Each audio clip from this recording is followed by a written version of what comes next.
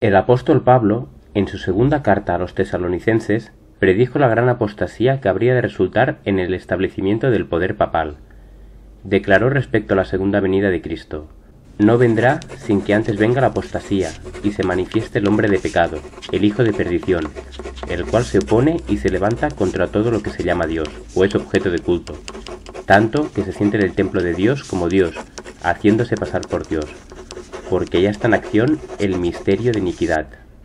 Ya en aquella época, Pablo veía entrar a la iglesia errores que prepararían el camino para el desarrollo del papado. Subrepticiamente y después con más descaro, el misterio de iniquidad hizo progresar la obra engañosa y blasfema. Las costumbres del paganismo fueron penetrando en la iglesia cristiana.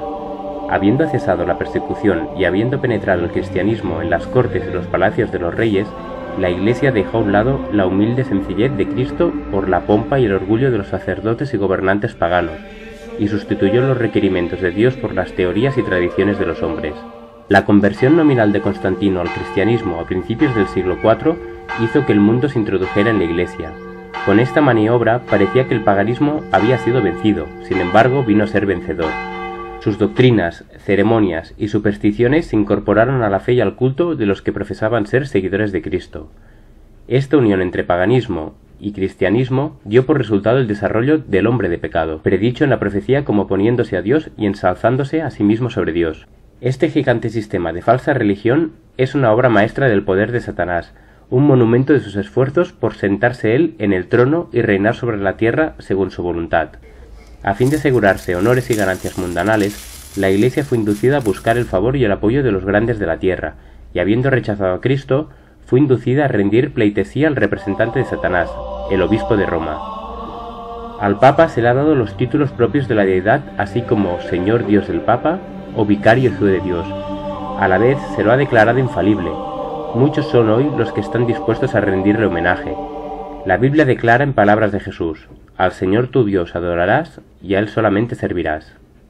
La doctrina de la supremacía papal se opone abiertamente a las enseñanzas de las Escrituras, y es sólo por medio de la usurpación que el Papa puede ejercer autoridad sobre la Iglesia de Cristo.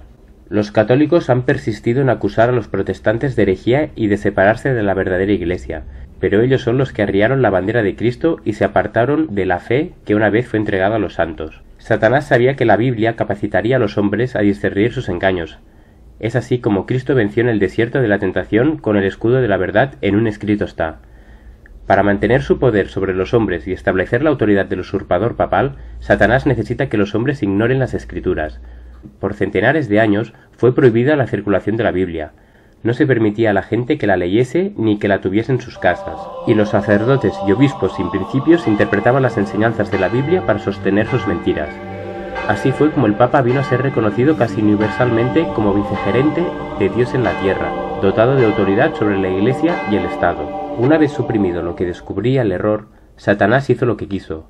La profecía había declarado que el papado pensaría cambiar los tiempos y la ley, y para dar a los convertidos del paganismo un sustituto para la adoración de los ídolos, se introdujo gradualmente en el culto cristiano la adoración de imágenes y reliquias.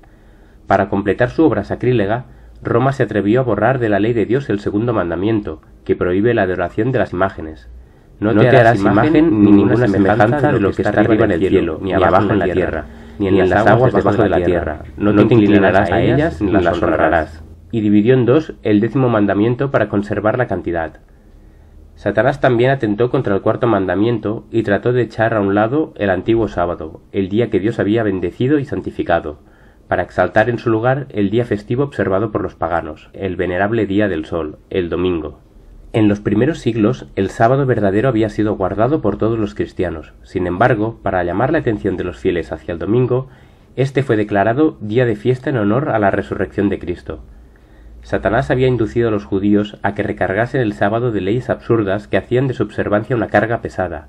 De este modo, el sábado se fue despreciando cada vez más, en contraposición al sábado, se hacía del domingo un día de fiesta alegre. A principios del siglo IV, el emperador Constantino expidió un decreto que hacía del domingo un día de fiesta pública en todo el imperio romano. El día del sol fue reverenciado por sus súbditos paganos y honrado por los cristianos. Era política del emperador conciliar el paganismo con el cristianismo. Con todo esto, Satanás aún no había completado su obra. Había resuelto reunir al mundo cristiano bajo su bandera y ejercer su poder por medio de su vicario, el orgulloso pontífice, que aseveraba ser el representante de Cristo. De vez en cuando se convocaban grandes concilios en los cuales se reunían los dignatarios de la Iglesia de todas partes del mundo. En estos concilios, el sábado instituido por Dios era deprimido un poco más, en tanto que el domingo era exaltado en igual proporción.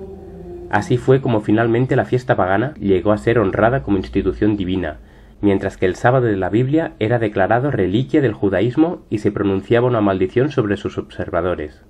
El gran apóstata había logrado ensalzarse a sí mismo, sobre todo lo que lleva el nombre de Dios o es objeto de culto. Se había atrevido a alterar el único precepto de la ley divina que señala de un modo infalible a toda la humanidad al Dios viviente y verdadero. En el cuarto mandamiento, Dios es revelado como el creador de los cielos y de la tierra, y por tanto distinto de todos los dioses falsos. Como monumento conmemorativo de la obra de la creación, el séptimo día fue santificado como día de reposo para el hombre. Estaba destinado a recordar siempre a los hombres que el Dios viviente es fuente de toda existencia y objeto de reverencia y adoración. Satanás se esfuerza por disuadir a los hombres de someterse a Dios y obedecer su ley, por tanto, dirige sus esfuerzos especialmente contra el mandamiento que presenta a Dios como el Creador.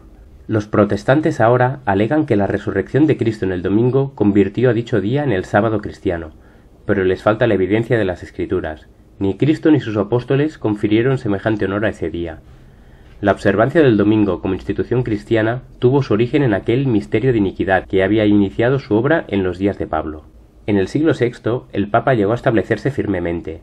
Se fijó el asiento de su poder en la ciudad imperial, y el obispo de Roma fue proclamado cabeza de toda la Iglesia.